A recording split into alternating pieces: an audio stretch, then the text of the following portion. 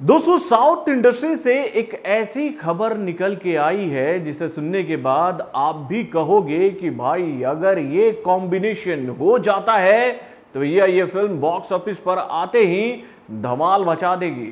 तो दोस्तों, क्या है ये रिपोर्ट चलिए मैं आपको बताता हूँ। हेलो फ्रेंड्स मैं हूँ नरेंद्र और मैं आपके लिए लेकर आया हूँ और एक खास रिपोर्ट जो कि जुड़े भैया बॉलीवुड के सदी के रियल मेगा स्टार यानी कि दबंग खान, सलमान खान से, और उसके साथ साउथ इंडस्ट्री के सुपर स्टार यानी कि रामचरण से।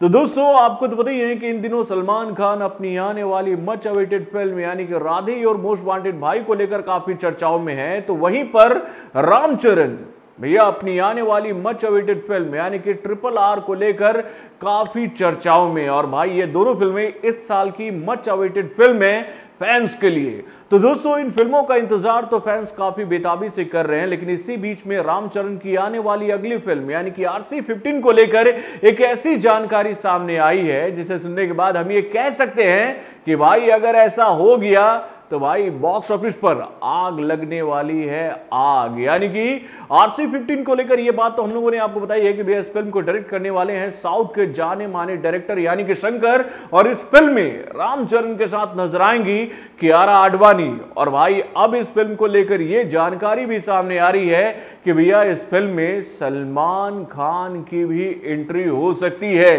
यानी कि इस फ़िल्म को लेकर यह जानकारी सामने आ रही है कि इस फ़िल्म में सलमान खान एक सुपर कॉप का किरदार निभा सकते हैं। यानी कि भैया, इस ज़बरदस्त कैमियो के लिए सलमान खान को अप्रोच करने वाले हैं शंकर और रामचरण।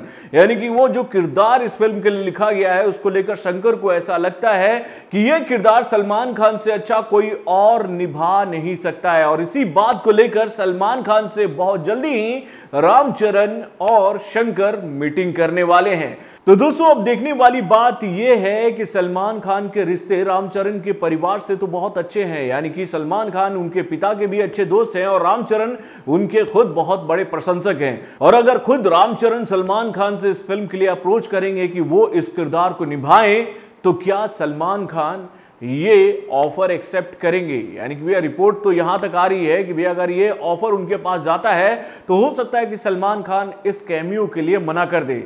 लेकिन भैया हाल फ़िलहाल में जिस तरीके से रामचरण ने सलमान खान की फ़िल्म यानी कि दबंग के लिए अपनी आवाज़ दी थी साउथ इंडस्ट्री में तो भैया ऐसा नहीं लगता है कि अगर रामचरण सलमान खान से यह बात कहेंगे कि वो उनकी फ़िल्म में एक ज़बरदस्त किरदार निभाएँ तो हो सकता है कि सलमान खान उनको मना नहीं करेंगे।